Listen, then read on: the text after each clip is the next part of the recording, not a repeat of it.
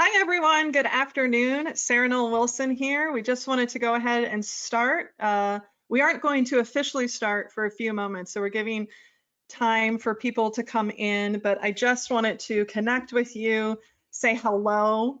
Um, so, you know, feel free to shoot a, a message of greeting in the chat so we know that you're here.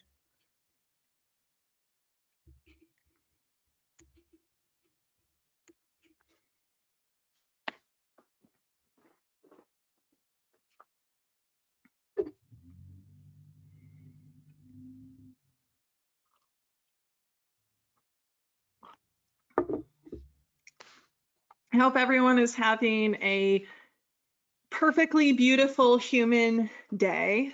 You know, and what I mean by that is that you're just, you know, allowing yourself to be present with whatever it is you're experiencing.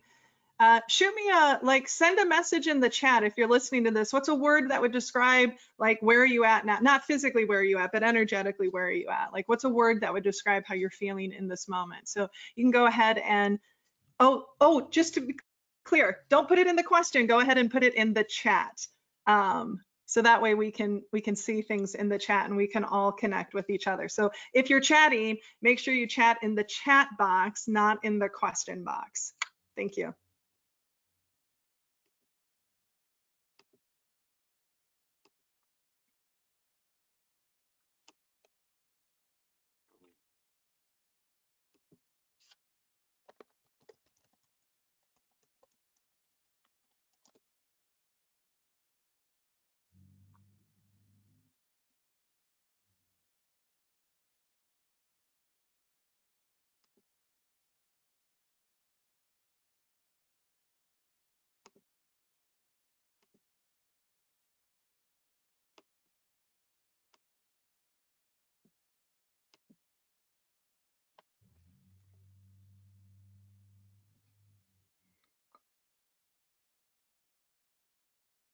I'm just reading through some of the messages. Now, I wonder, Rachel, if you can pop on a second. I think we got a message that some people can't see the chat box.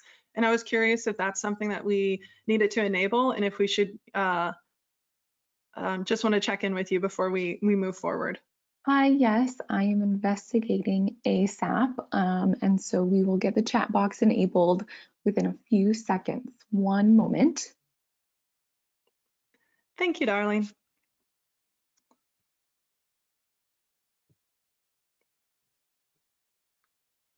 This is the beauty of, you know, technology and experimenting. Yes, so we are figuring out the chat box. I don't know why. I can see it.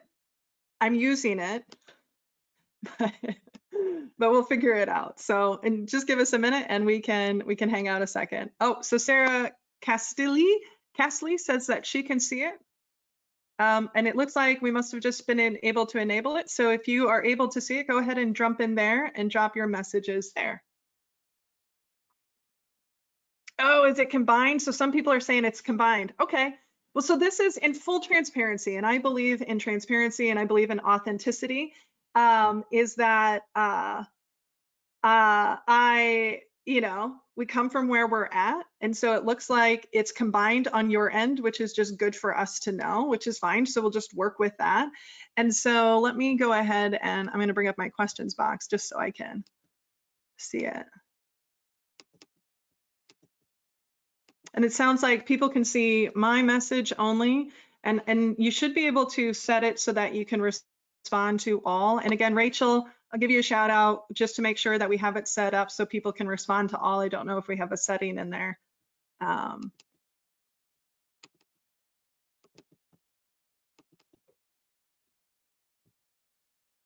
What is set that everyone should be able to respond um, and be able to see all.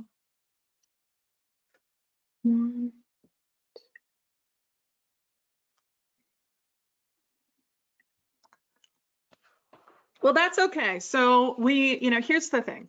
We can still have a lovely, a lovely conversation and we will do our best to share what people are saying.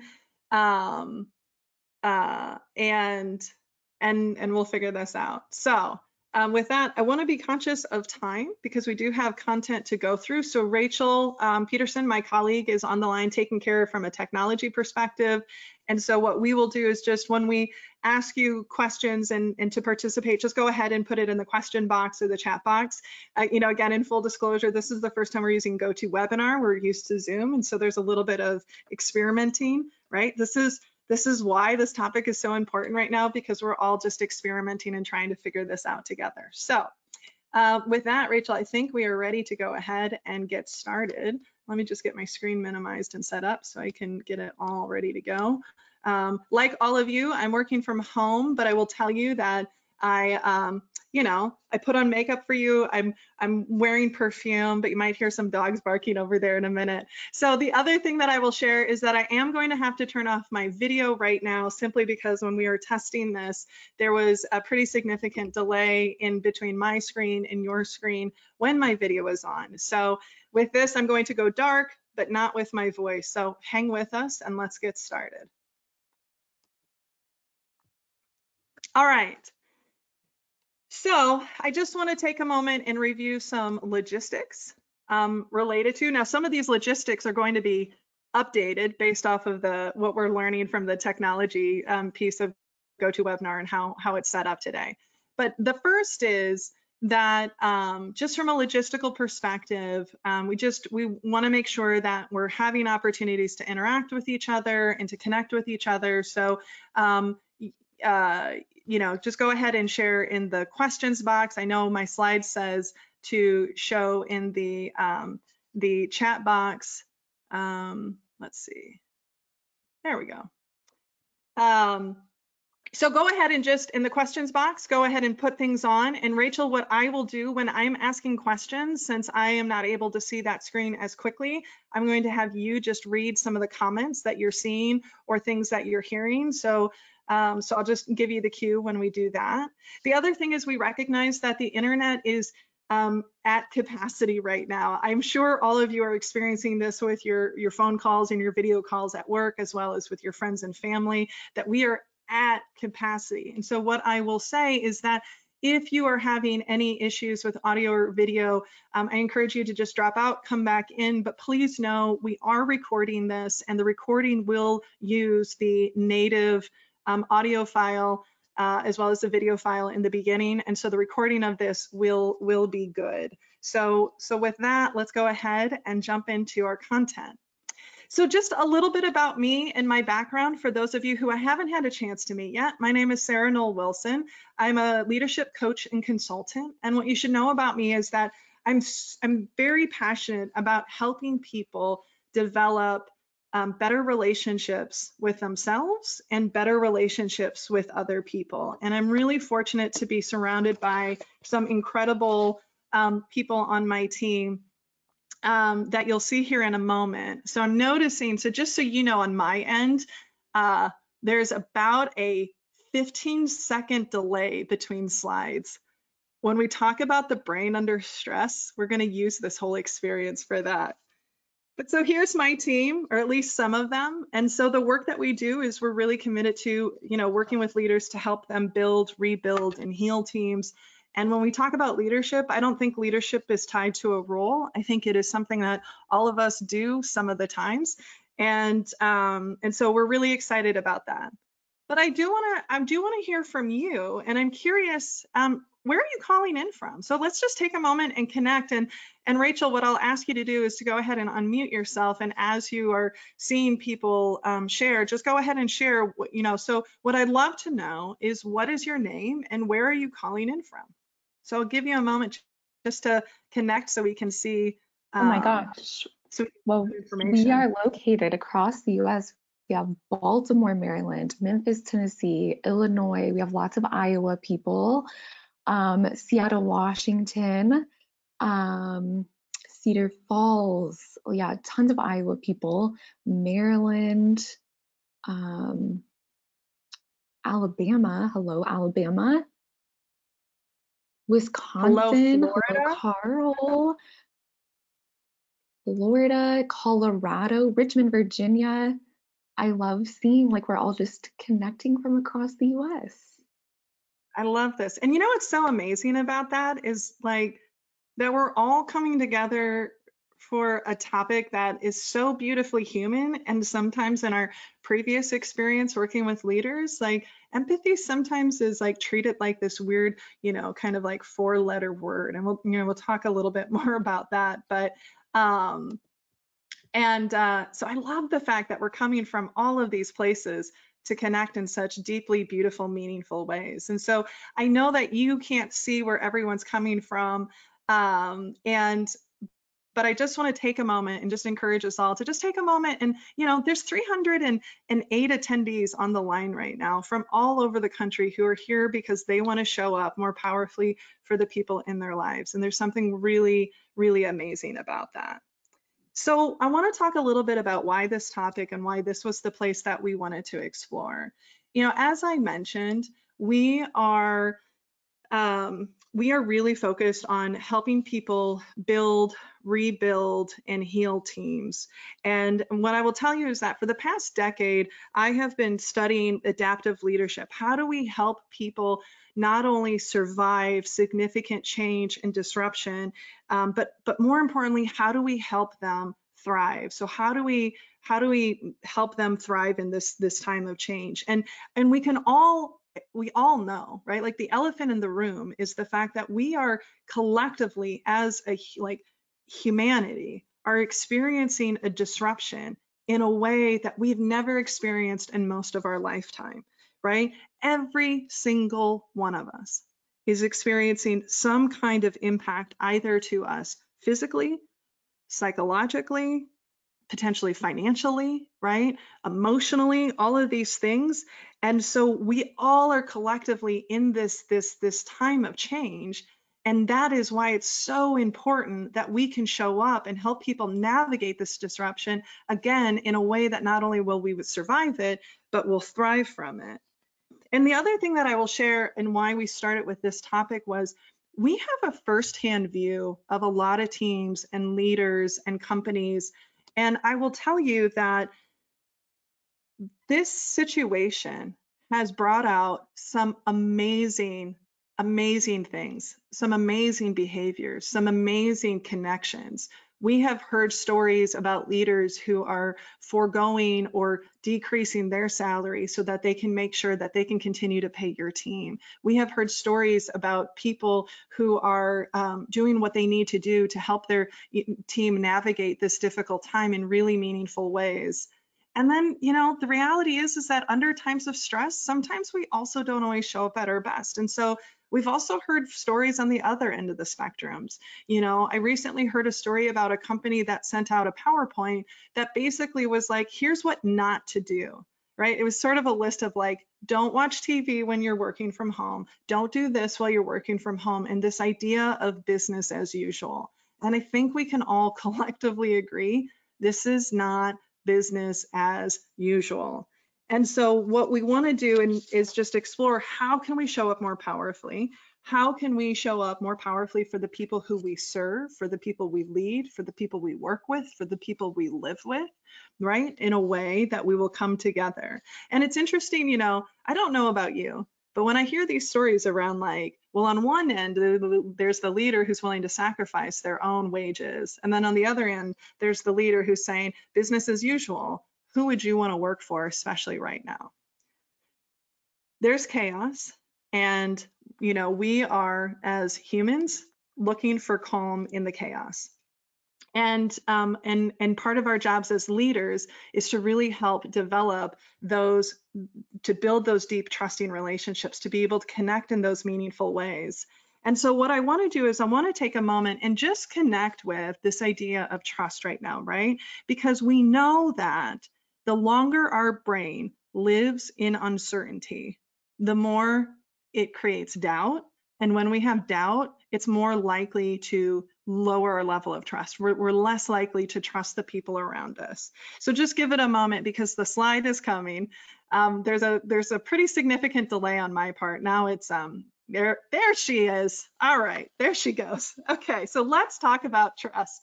So um, trust, the factors that contribute to trust um, are, are, complex, and there's a number of different factors that impact how you might trust somebody, why you might trust somebody. There are factors that are different for how maybe the trust I need with my sister might look different than the trust I need with my team members, which might look different than the trust I need with my clients. But all relationships ultimately will fall and need these three components. And we like to think of this as the trust triangle. So the trust triangle is essentially built up of three key components. So the first one is, and I want to start at the top, is authenticity, right? That in a relationship, we have really good BS meters. We are really, I mean, we, we all have met people where you go, I know, I know you're saying this is who you are, but in my head, I'm feeling like you're maybe something else, right? So when we question how somebody shows up, who they are, when that leg of the, the stool starts to become wobbly, that's going to start to impact our trust.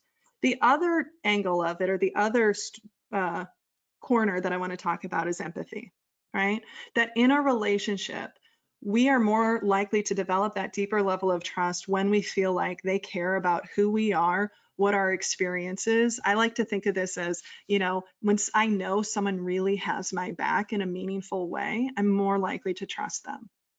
And then the third component of the trust triangle is logic, right? Do you, are you um, thoughtful? Do I agree with your logic? Are you able to communicate your ideas clearly?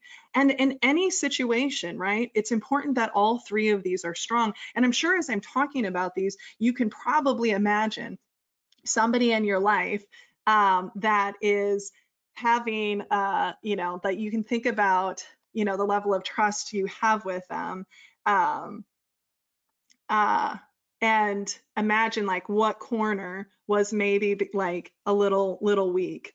Um, I noticed that there's a question coming up and I want to address it and it's why would business as usual be a bad thing? I've, and we'll talk in more detail about this.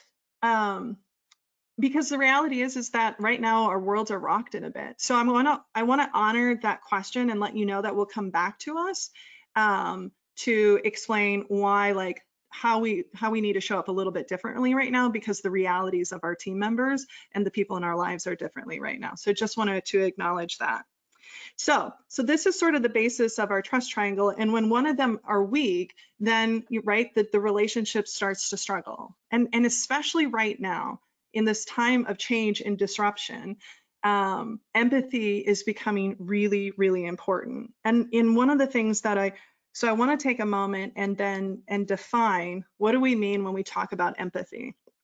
And it's going to take a moment for the slide to come up, but I'll read to you the definition. And I, I will, and somebody is asking about will the slides be available for download? We will make the uh, slides available for download. So we will, when we follow up, not only will you get a copy of the recording, but we'll also give you a PDF of all the slides so you can see them since I'll be moving through some of them fairly quickly and you might not see them all just because of the, the technical delay that's happening. But when we talk about empathy, the way that I love to define it is just really simple. The ability to understand and to share the feelings of another right? And I was raised by my parents, very much raised me with the belief of you need to be willing to step into someone else's shoes before you criticize, before you judge them. So, empathy is ultimately just the ability to understand and to share the feelings of another, right? And we'll talk a little bit about some of the myths that come up with this. But when when I think of empathy and when I think of being an empathetic leader, I love this idea of part of being an empathetic leader is is holding space for people, right? So there's this really beautiful phrase of just holding space for someone. That empathy isn't about I don't need to fix you, I don't need to solve your problems, um, I don't necessarily like need to, uh, you know, I just need to hold space for whatever it is you're experiencing. And this is a quote that my dear friend Stephanie Chin always shares with me whenever we talk about and we're having um, challenges like whenever whenever one of us is having a challenge emotional challenge the other will say like how can i hold space for you right now? And she'll share this quote and i love this quote so much that this idea of holding space is you walk along with them without judgment sharing their journey to an unknown destination yet you're completely willing to end up wherever they need to go And what I love about this is there's two two pieces that I've highlighted that I think are so important in this concept. Is one is that holding space and being an empathetic leader is to do so without judgment. You can't connect to somebody if you're judging them. You can't connect to somebody if you're criticizing them. Um, and the other piece of it that I highlighted is it's wherever they need to go, right? Sometimes we think we know what's best for people. Sometimes I fall into this trap. Um, but but to recognize that again empathy is about acknowledging what they are experiencing what they are going through and what they need ultimately um, to move forward so why does this matter for us as leaders i mean there's a couple of things one um, when people feel heard when they feel taken care of, they're far less likely to worry. And we know right now in this situation, there's a lot of worry in the room. There's a lot. And there's worry in the room that we don't even realize is there. As people, we don't even realize our brains are processing it. And there is worry in the room, you know, that we as leaders aren't aware that our team members are thinking of. And so, um, and so if if we can show up empathetically, people are going to spend way less time worrying, way less time reaching out to you, and way less time either ruminating or talking to their peers, right? We, as we were talking about this concept, um, my colleague Teresa on the team, you know, she made this really beautiful point is, you know, sometimes we think that the way you get productivity is by having like a hard line, but the reality is, is we know that a safe brain is how you get productivity. When we can calm down the, the brain's stress responses, people are more creative, they're more productive, they're more able to be connected and showing up. The other thing is, and this, what I'm talking about is a little bit different than what you're seeing on your screen because that's coming up next. I'm trying to anticipate, anticipate the screen so we can get them up. But empathy is this incredible tool to maximize your problem solving. And what I mean by that is that if you truly understand what are the challenges your team members are experiencing or the people in your life, if you understand instead of assuming you know, you're able to actually solve for the situations that they're experiencing. Um, you know, as we were talking about this, I think a really beautiful, you know, example of this is uh, Teresa and I, as we were chatting, she was talking about how when she was um, working as a, a, leader in an education system, she was pregnant with her second child and had one one little child at home, and and and you know she would work during the day go home only had two or three hours with her son and then she would hop online the, the next night right or the at the end of the night after he would go to bed. And so because what was important to her and what you know part of her challenge was was the fact that she only had a few hours with her son so she wanted to maximize that and then she was hopping online. And um and and the way that the the leader leadership at the time responded was like, well, if you really want to get ahead, you know, you really need to be in the office until like six or seven, like, like some of the other leaders. And it was this missed opportunity of recognizing like, what does that person need? How can they show up in a way that will not only serve them personally, but also allow them to show up even more productively, more engaged professionally? I think sometimes we get into this trap of like, oh, work has to look a certain way, happen a certain way and right now that's all getting disrupted especially you know those of you with kids know that this is a massive disruption for you as well and um and so I just want to pause and and and take take a break and I want to look at some of the questions that are coming in and um and just to like notice it. And so some of the questions and thoughts are coming in. We're actually going to address those. So good. So we'll keep moving on. Um, so again, just a reminder, people you know, for those of you who really value efficiency, um, what I can tell you is that if your people don't feel safe and don't feel taken care of, um, they won't be efficient because they're worried about other things and we're trying to minimize that so they can show up at their best, right? So this is how this works. Sometimes we have to go slow to go fast. Um, so let's talk about some of the myths that we hear um, pretty consistently when we've been working with leaders. I mean, and some of these are things we've heard over the last year, and you know, we, we've been having a lot of conversations about this. So I just want to talk about sort of three common myths that comes up when we talk about empathy. So the first is um, a lot of times people will talk about empathy as like a weakness, um, particularly, I mean, and I and I definitely would say sometimes this gets this discussion comes along a gender divide, and part of that is because right, our our society, our, our social construct is that it's it's it's a sign of weakness for a man to have emotions, where it's not necessarily for a woman. But we hear in teams where it's like, ah, Sarah, you know, I don't know, empathy, it's just kind of squishy, you know, or it feels a little like, I, I love squishy, you know, it's a little squishy, Sarah. And I just think that it's a sign of, I just don't know. I mean, like, I'm analytical, I'm whatever. And we were working with one leadership team, and, and one leader was talking about just this idea of like, uh, empathy is, I don't know, I think logic is more important. And then when we talked about what does he appreciate um, in, in, in people he works with, in teams he works with, the, the number one thing he said was that they understand where I'm coming from, that they would consider my perspective. And everything he was saying was describing empathy. Like that's what empathy is. So empathy is not a weakness, and we'll dig into that more. The second myth that comes up is that people think that um, to be empathetic means you can't hold people accountable. And I think that this is a really important distinction, again, because empathy is about just understanding and meeting people where they're at, that's not saying you're removing accountability. There are still expectations. There are still some expectations, even now in this disrupted world, of things we have to try to move towards in the best way we can given the circumstances. But you can be empathetic and hold somebody accountable. I mean, this is, you know, beautiful work that's been addressed in, you know, things like radical candor and Brene Brown's work. And so I'll just talk a little bit about, you know, what that looks like. Let's say you're giving feedback to somebody and you can tell it's really hard for them to hear.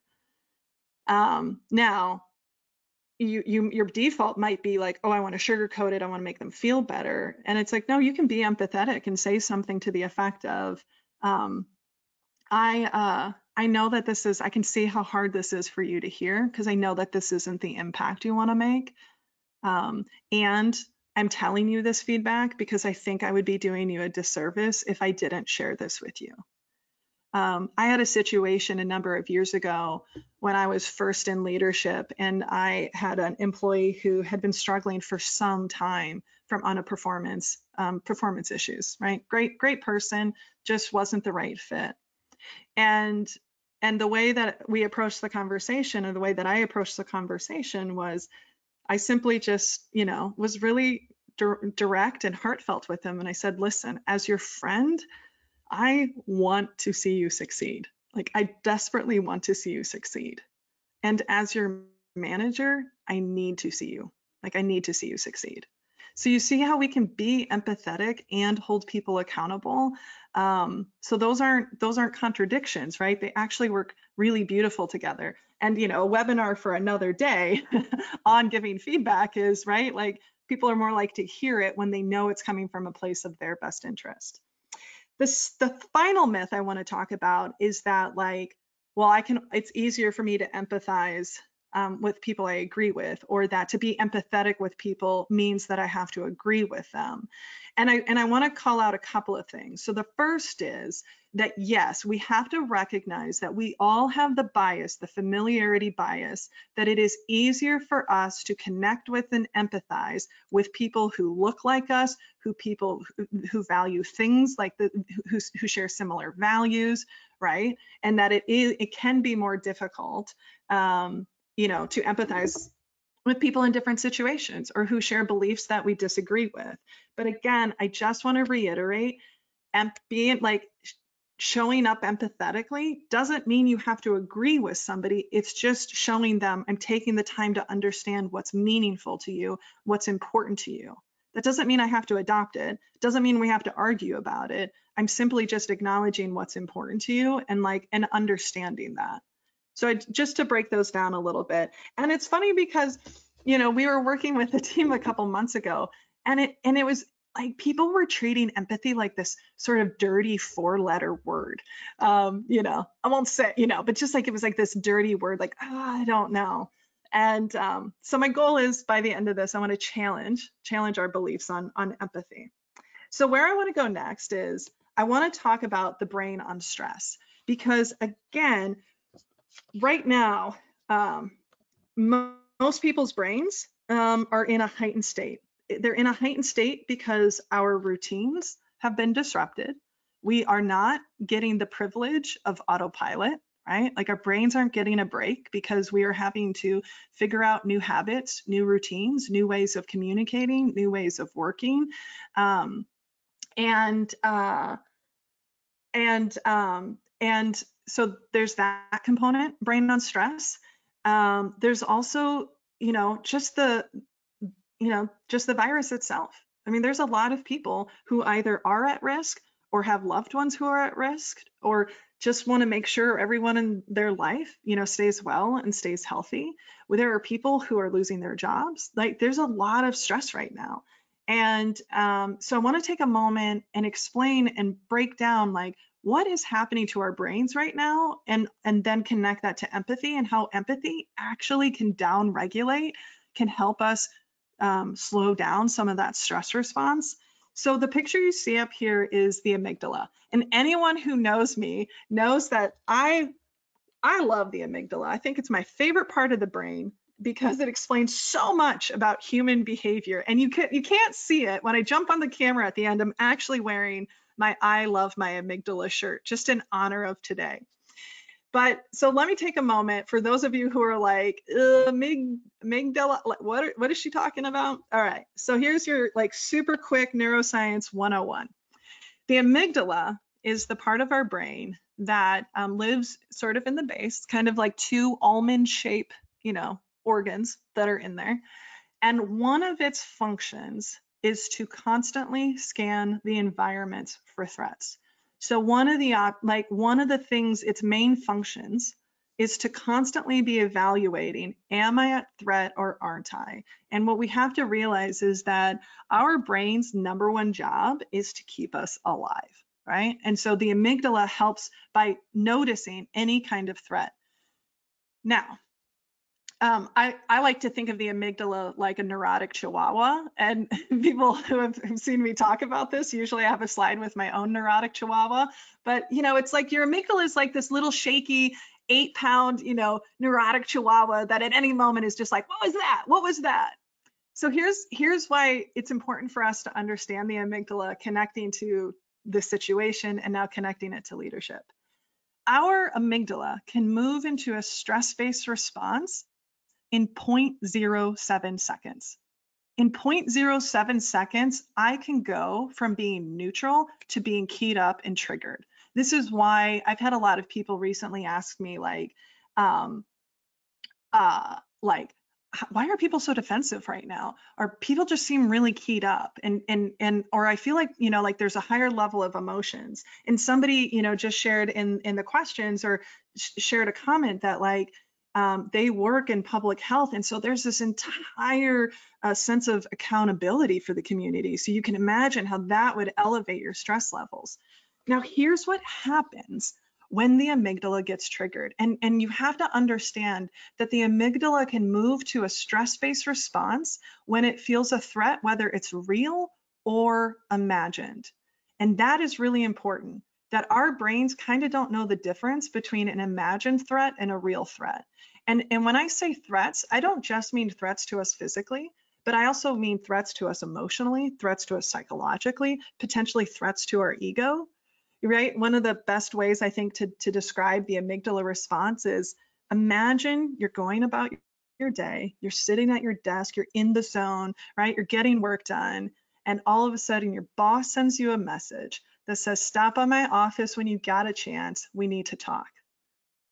I don't know about you, but I immediately go into, oh, what did I do? What did I do wrong? What do I need to be prepared for? Right? My heart starts racing, my neck might get a little warm, my hands might shake a little bit, right? That's that's our amygdala. And um, Oh, yeah. Somebody just shared that their amygdala freaked out on a global finance call recently, right? Like, and so this happens. So here's what happens when our amygdala hijacks. So 0.07 seconds moves from neutral state to a heightened state, and it does a couple of key things. It kicks off cortisol, it kicks off adrenaline, and it kicks off noradrenaline. Why am I telling you these things? Because when that happens, it puts our brain into a heightened survival state. The reason this is important for us as leaders to know this is that when amygdala, when amygdala, the amygdala triggers, we physically lose access to the higher functioning parts of our brain. We lose access to our prefrontal cortex. And guess what lives there? Problem solving, logic, reasoning, attention to detail, being able to focus. We know now that when our amygdala is in a heightened state, we also lose access to things like empathy and listening. And so this right now is a really important uh, it's an important place for us to understand and notice when when is our amygdala triggered and when are other people's amygdalas triggered as well, right? Because when we're in a stress-based response, we can't think logically, we can't be as productive as possible. This is why as leaders, especially when we're leading change, our number one job is to regulate the energy within us so that we can help regulate the energy and the stress levels within other people right? That is how we help them navigate. So I want to um, pause a second, and I just, you know, I'm curious to hear from you. Um, just chat, uh, put in the the question box, chat box if you have them. If you don't, just reflect on yourself. But what, like, what happens when your amygdala triggers? What does it feel like? I know for me, my my heart starts racing. So I'm curious to just hear from a few of you. What happens when your amygdala gets hijacked? When your amygdala hijacks your brain, rather. So somebody wrote that um, I'm an emotional person, so I get panicked. My mind goes to the worst place. My arms go numb. My face gets hot, and I feel like my blood pressure instantly rises. My palms are sweaty. Somebody else talked about losing focus, racing a heart, potentially tears, heavy breathing. Um, so we feel this physiologically because, again, our brain is kicking out these hormones. I don't think before I speak. I get defensive. Maybe I get scattered brained. Um, you know, somebody was asking about how do we handle the different levels of amygdala triggers. I'll talk about that in a moment. So as these are coming in, some people get short tempered. Beautiful, beautiful awareness on that. Um, I fall into the rabbit hole of uh, worst case scenarios. I see others as the enemy. I, I want to pause on this one Again, because when we are in a stress-based response, our brain is in survival mode, which means its number one job is to protect us. And we are more likely to be cautious. We're more likely to be skeptical. We're more likely to view others as a threat. Um, somebody asked, where do I find the chat box? I don't know. It doesn't exist apparently. You know, we talk about the amygdala. I'll be transparent. My amygdala was triggering, triggering earlier when we couldn't figure out like the chat function, right? My my heart was racing, my head was like, oh crap, are we going to be able to figure this out? And then my thoughts went to, well, what are they going to think about me? And what is this, you know, like what's going to happen, right? Like, and I'm sure Rachel's amygdala was figuring out, you know, like firing off too as well. Okay, so I want you all to become pros at the amygdala. The other thing that I want to just take a moment to pause on, I could talk forever about the amygdala because I think it's so important for people to understand it because it just gives yourself and other people, it makes it easier to give grace of like, oh, their amygdala is firing right now. But like good, good, just good tip. Now that you're aware of the amygdala, it's like the matrix, you'll start seeing it everywhere, but don't tell people, wow, your amygdala is really triggery. It's not going to end well. Just, I promise you. Um, one of the things that's happening right now collectively as a society, and I'm going to share this article when we send you the recording afterwards, is there there's this collective grieving that's happening right now. There's this collective sense of loss, and um, and this loss of routine, this loss of um, potentially self-care, this loss of time, um, there's also this anticipatory grieving. There's this beautiful article written recently. And so again, we'll share the resource in the email when we send out the recordings. But there's a lot of anticip anticipatory anxiety and grief right now of like, what happens if I get sick? What happens if my parents get sick? So one of the things that I want to just share with you is to realize that your your team members as well as you, like these, this the brain is on in a way that it hasn't been before. And I like to think of it like an app that's just running in the background, right? That that these thoughts we're having, these these these worries, whether they're conscious or unconscious, these um, losses we're experiencing, these adaptations we're having to make, it's like an app that's running in our brain all the time now. Now, sometimes, like for me, there are some moments during the day where it's just kind of slowly draining the battery down. And then there are other times, like uh, full transparency, last night it crashed the system. I just had a moment of like, my heart feels really heavy. I can't focus.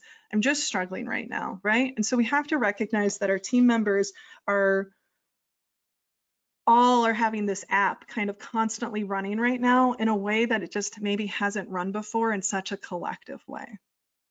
So, so let's talk about what are some barriers to um, being an empathetic leader. So there's there's sort of two key barriers. Um, uh, is that we are. Um, oh, I just want to take a moment. Uh, Bobby Malloy, thank you for this. In order to find the questions chat, people need to hit the orange arrow to show the control panel. Thank you for that. I appreciate. Thanks for having my my back on that. All right, so here are the two uh, barriers that get in the way of being an empathetic leader. The first is this need to um, know and this need to fix. And, and when we are in a place of, of, of needing to be right, um, needing to have it done our way, needing it to be about people coming to our space and doing it our way, we just simply can't be empathetic, right? So these are barriers.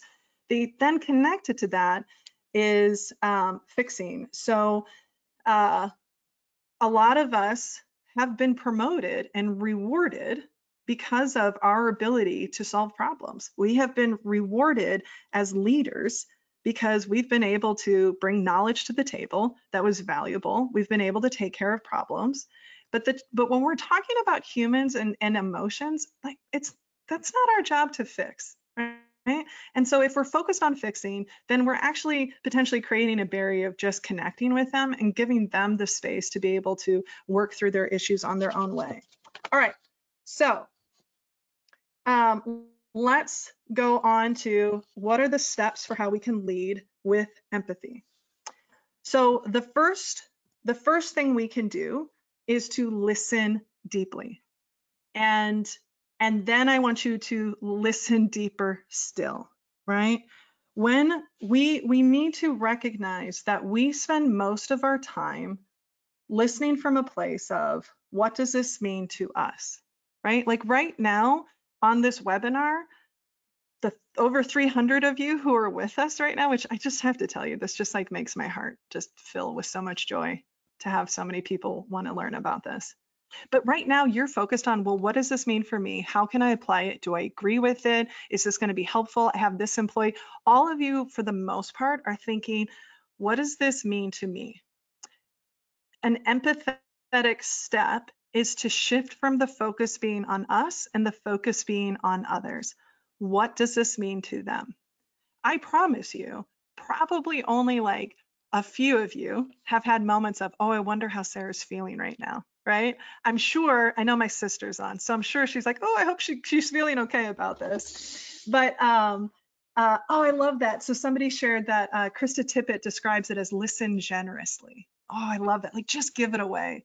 So when we talk about listening deeply, it's about not just listening, catching our tendency to listen from a place of making it about us and focusing on others. What does this mean to them? what is important to them? What you know what do they value? What what is going on for them? And again we don't have to agree with it. We just need to understand it so we can honor it. So i want to talk about two specific things that i want you to listen for especially right now this disruption of our lives of our work is causing a lot of loss. And in fact, when, when we do work with teams on navigating change and working with leaders of how to navigate change, the first place we have to, we, what we have to realize is that it's not that people fear change, they fear loss, right? And right now we are all experiencing loss, right? Um, whether that's loss of time, uh, with your colleagues. Maybe it's loss of sales. Maybe it's loss of structure. Maybe it's loss of, of, of focus because you have your kids with you, um, loss of being able to work out, Wh whatever it is. So when you're talking to your team members, when you're in conversation right now, I want you to go below the surface of what they're saying and I want you to listen for the loss, right? Um, and here's what I want to do. I want you to experiment with me for a moment. I I want to take them. We're gonna. I want to play this out because I, I always like to figure out like how do we make webinars more interesting so it isn't just me awkwardly talking to myself in my living room. So I want to tell you about my day yesterday. I'm going to be really vulnerable and transparent, and I want you to listen for two things. What did you hear is important to me, and like what are potential losses that I might be experiencing. And then when you hear those, I just want you to um, uh, that that I just want you to put it in the chat. And so um, I uh, uh, so here was my day yesterday. So I woke up and I was feeling pretty good. I was really energized. Um, and I was super excited about the work that we're doing as a team. You know, the like the, the the the things that we're getting to innovate now because of the constraints, and and just like I had a bounce in my step in a way that I just hadn't had in a while. And then and then about like seven o'clock last night, I felt like my energy just took this spill, and I went from like being good to being neutral to just feeling heavy. Um, you know, I I was hearing from more people I knew in my life who were being diagnosed. I was hearing from friends in my life um, whose parents are elderly and at high risk who were recently diagnosed. Um, I, I I read this this tweet that was like just broke my heart of you know just realize that potentially if somebody you love goes to the hospital you might not be able to to talk with them and I found myself just like my heart was so heavy. And um, so I'll just pause there. So what what did you hear? So you heard things like fear of unknown, friends and family are important to me, that I was scared, that I was afraid, loss of safety, loss of security, um, that your friends and family are important to you. Yeah, this loss of relationship, this loss of sense of security, helplessness, loss of connection. Ugh, this is, uh, you can't see the screen, but I wish you could because I've just got like tears in my eyes. The loss of energy, the proximity of the loss closing in, um, feeling helpless, overwhelmed, maybe some guilt. Oh, yes, Kim, maybe some guilt about being excited about the opportunities in light of the loss. You're so spot on. Um, it became real to you personally. Mm, in a very real way, it did. Um, so imagine all these beautiful things you heard because you were listening differently to me. Imagine if, if you and I are in a conversation and after I told that story, when you said, Hey, Sarah, how's it going? I was like, Man, last night was tough. Imagine if you said, um, Man, I can hear how real this became to you personally.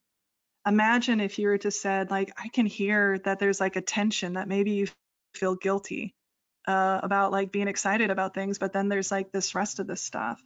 Or imagine if in the conversation you said things like, oh, I can just see how important your friends and family are. Or I don't know if this is true. I can sense how, like, there's a sense like energy of helplessness.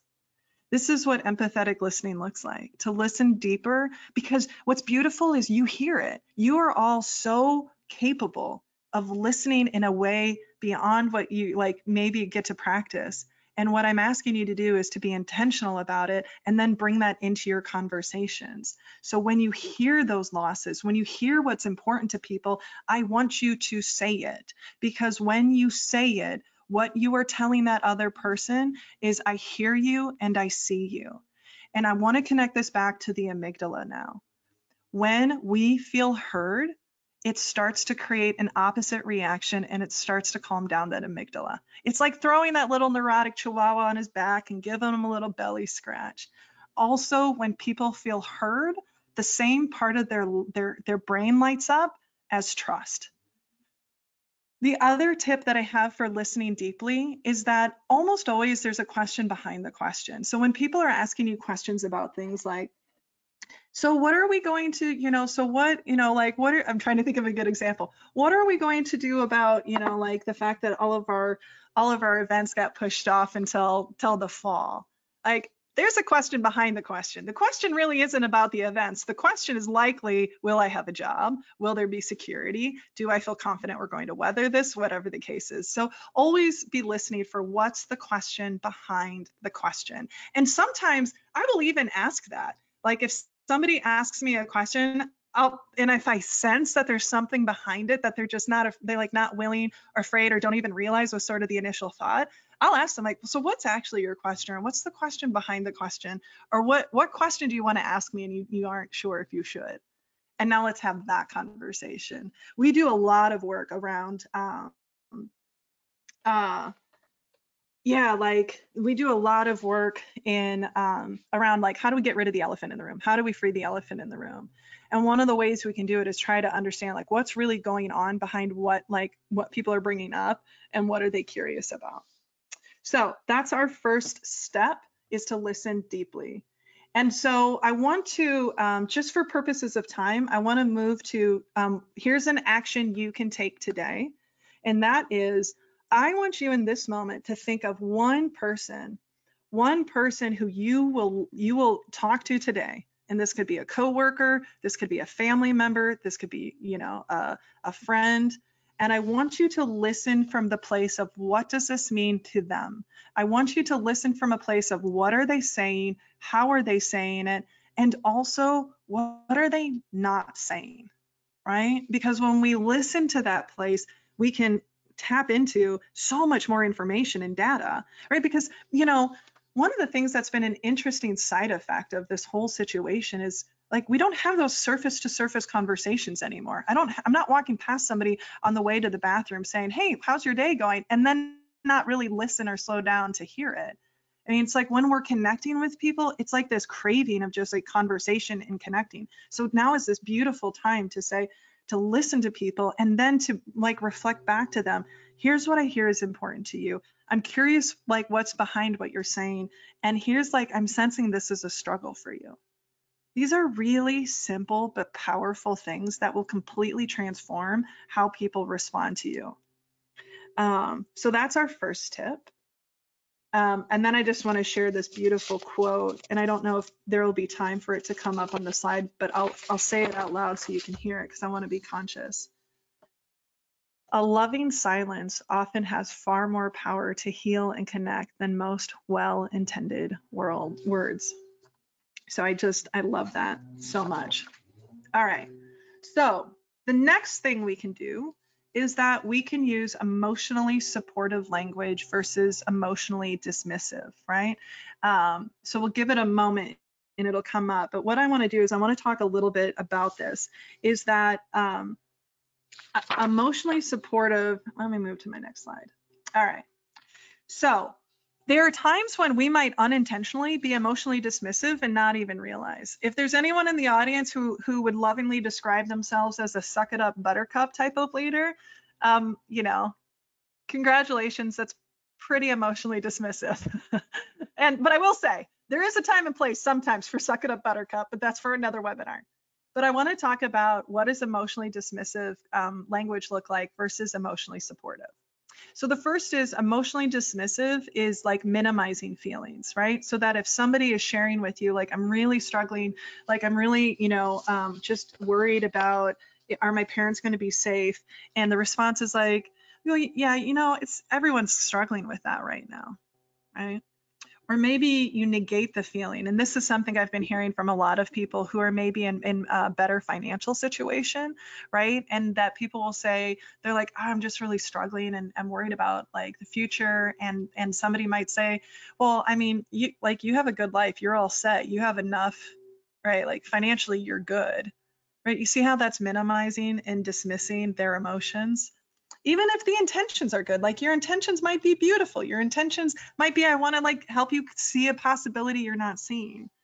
Um, the other is that you want a quick resolution right? This is where the suck it up buttercup comes in. Um, for those of you in the audience who are my beautiful like hyper optimistic people um, sometimes our desire for optimism can actually be dismissive, right? So if I'm really struggling and you're like, but Sarah, look at the bright side, you get to do this and this and this. What you've done is you've sort of shoved my emotions aside and like and and um and and what happens is that the consequences it makes me feel like I'm um uh like I feel shameful now like well I guess I shouldn't have been worried about it um, you know, somebody just shared, I'm guilty of, you want me to do something about it, or what's the point of telling me or talking about it? And this um, uh, Charvis talks about how I've done a lot of work on just listening, doing nothing is really tough, right? Because we want to we want to go into action, we want to plan, but again, like just saying, like I can see and I can hear how hard this is to you. Um, so let's talk about what it looks like to be emotionally supportive. That you validate all feelings. I can see why you're angry. Um, I can hear how frustrating this is for you. You know, there's a big movement that people, you know, of like chasing happiness. Um, I'm a firm believer in just chasing our humanity. Um, all emotions are good. All emotions are, well, let me clarify this. All emotions are fine. It's what we do with those emotions that can become the problems, right? Like all emotions are normal, natural, and part of just the human experience. Um, but it's what do we like the actions from them is what can make them become detrimental. So just like validating all feelings, you know, you have uh, Teresa tomorrow is going to be talking um, when she talks about the tips of how do we support our kids during this time and and and how do we navigate working from home with them. And, and one of the things she'll just explore is like your kids are going through a lot of loss too.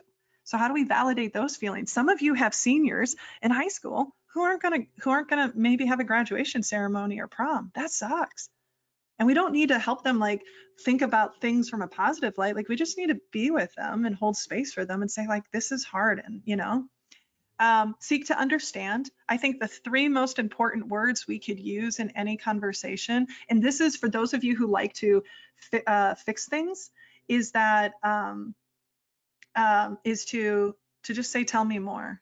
A question came up what if the person doesn't know what they need in the moment? Um, just be there? Yeah.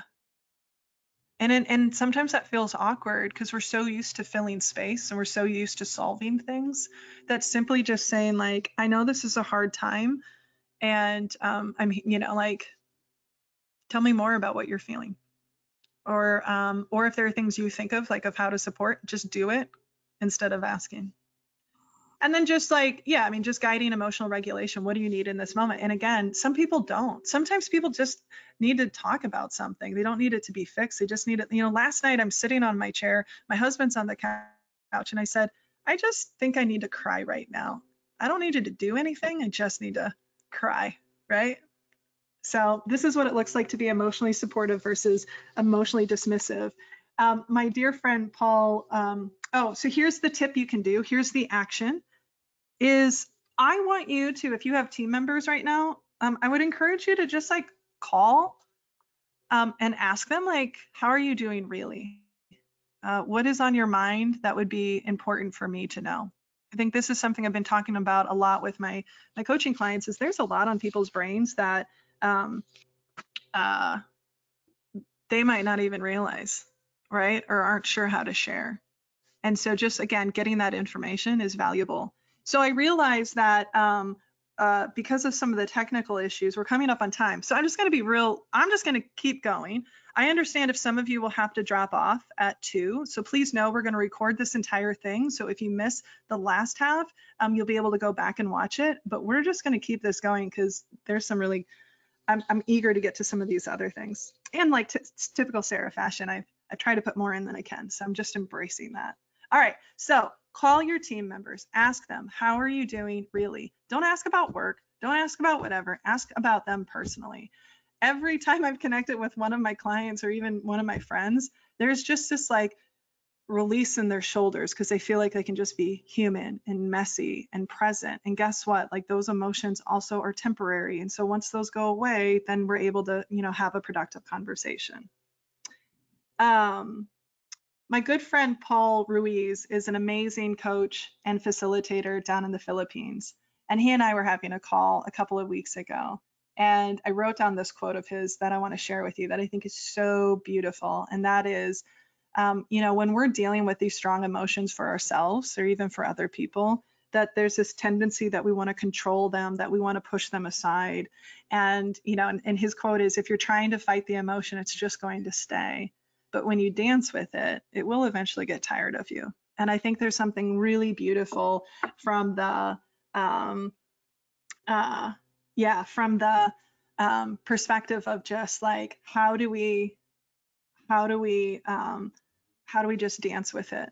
One of the metaphors that I want to share with you because I think this so this is just my personal gift to you because I think we all are having um, a roller coaster of emotions and trying to figure it out is I want you to imagine this metaphor when you have a strong emotion that comes up that you're trying to push away.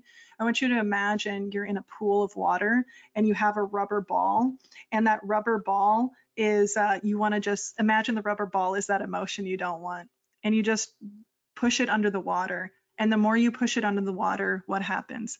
It just bounces back up. And the more and the harder you push it down, what happens? It just bounces up with equal force back. But so I invite you and for yourself and also invite you to help manage your team members of like, so what does it look like for us to just let this emotion be here? And eventually that ball doesn't bob anymore. It slowly gets more still. Maybe it touches us, but eventually it starts to move away and it floats away, right? And it's temporary. So I think that that's just, that's been a really um, powerful metaphor for me when I think about those emotions that I want to try to control. Um, so I want to take a moment and look at some of the questions that are coming up. Um, okay, so um, so now I want to talk about um, step three is be flexible.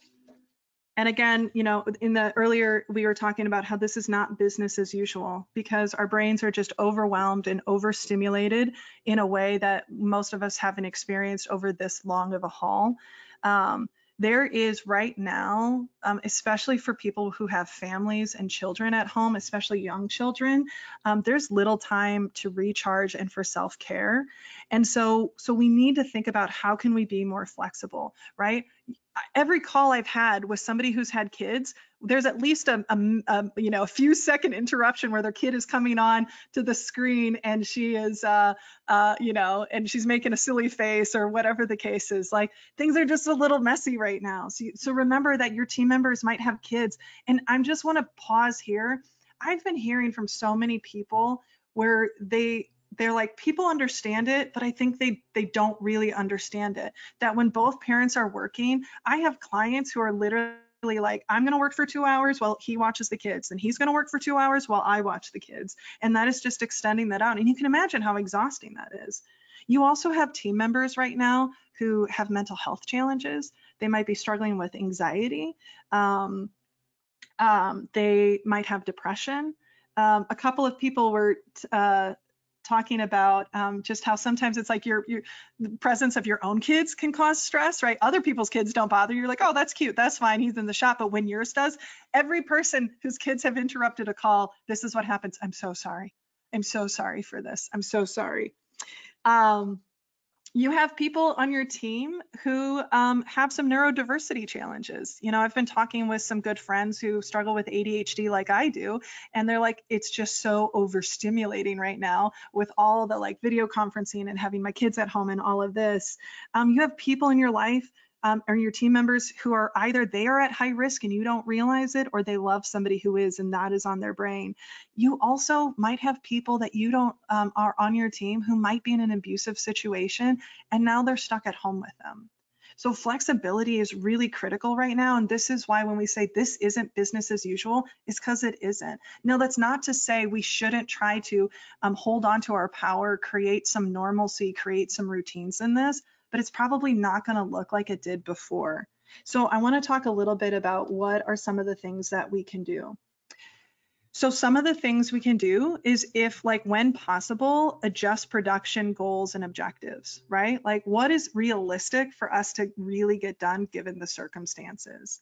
Um, if possible, adjust total hours worked. You know, a really fun fact is that we, and under normal circumstances, peak in productivity like what research shows fairly consistently and conclusively is like we're productive about three to four hours out of the day. That's about it, right? Which I'm a big advocate for the four, four day work week. But like to think about are there ways you can reduce hours without necessarily reducing pay um, or if you have to um, but like how can we adjust the hours work?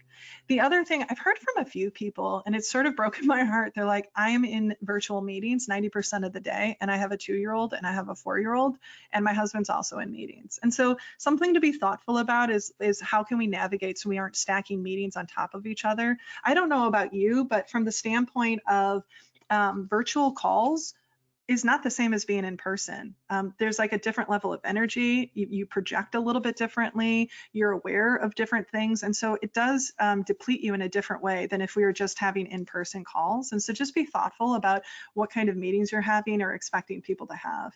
And then the last one is if you are in a business where you can um, give some flexibility to how and when they work, do that Um, if it's something that doesn't have to happen between eight and five, you know, one of my clients was talking about because she and her husband tag team on the kids. She said sometimes I'm working until you know later at night because that's when I can actually like get really productive.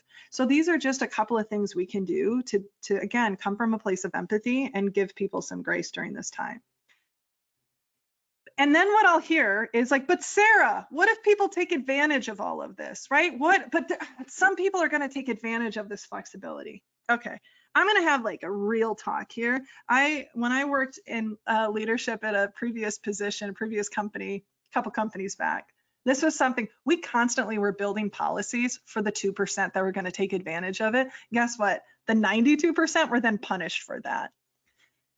I do not subscribe to and would invite you to not create policies from a place of, um, but people might take advantage of this.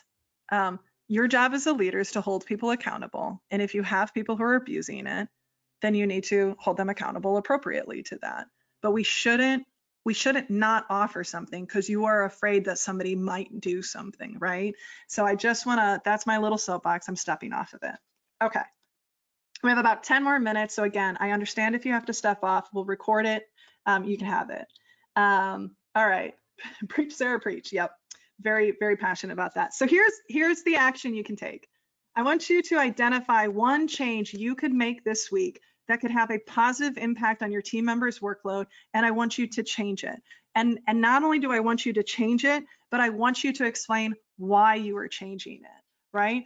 So even if it's something simple, even if it's simple as, hey, I know that like it's been really overwhelming with the kids. And so if there are things that like you need to, you know, potentially work on um, over the weekend, like please do. Now, again, we want to protect personal time, but again, these are these are different situations. So we need to get creative. Or if you are, you know, like, or you let everyone go early on Friday. Say, hey, you know, tomorrow I want you to like, I want you to log off at three. This has been a hard week and I want you to be with your family and just have the chance to to breathe. There are little things we can do that don't cost money or don't cost a lot of money that could have significant impacts over acknowledging what people are experiencing them and giving them the opportunity to be able to show up more powerfully. Um, all right, so my last step is I want you to make your um, I want you to make your empathy visible and verbal. And what I mean by this is I have a ton of leaders who are amazing and their intentions are wonderful and they feel things. They worry about their team members. They care about their team members. And when I ask them questions like, do they know? Like, well, I've never said anything. Should I? Yes. I think, you know, um, especially now, right? Again, people are looking for that calm in the chaos, and that the more verbal and visible we can be with the things we're doing to support our team members, the better. So, I want to share with you what this looks like. If you decide to give your team members some flexibility, like let's say you take the idea of, hey, I'm going to let everyone go early tomorrow because this has been a hard week. I want you to say, like, why you're letting them go. Um, you know, from a place of care, from a place of wanting to like take, you know, care them from recognizing the challenges they have and and connect those dots for people because people might not always connect those dots. Um, you know if if it's a situation where there are things you are doing to make sure that the company is more stable right now there's like that's good to share with people. Um, you know i was working with a leader recently and you know we talked about how when people feel included that can help down regulate their their amygdala and like don't just invite people onto meetings. Um, let them know why you're inviting them. Hey, Sally, um, you're really good at X, and I really want you to be a part of this conversation because I know you'll add a lot of value. So just think about ways that you can be visible and verbal, even if it's as simple as telling somebody, I know this has been a hard week and I really appreciate you, right? Don't assume that people know how much you care for them make sure that you say it because especially as like team members in the world right now our brain are they're so triggered that we just need to hear that to be able to pull out. So what are some things we can do? I want you to think about like ways we can make it verbal and visible is i want you to acknowledge them um, be specific right? Like make sure you're acknowledging people for the work they're doing the the, the uh, challenges they're uh, tackling sacrifices maybe they're making and be really specific right? So it isn't just hey i appreciate you but it's hey, um, you know, Teresa, I really appreciate it. Actually, Teresa's on the line, so I'll give her some acknowledgement, my team member. I really appreciated the fact that last night you uh, took my text at nine o'clock when I was struggling and offered to um, help look at this presentation.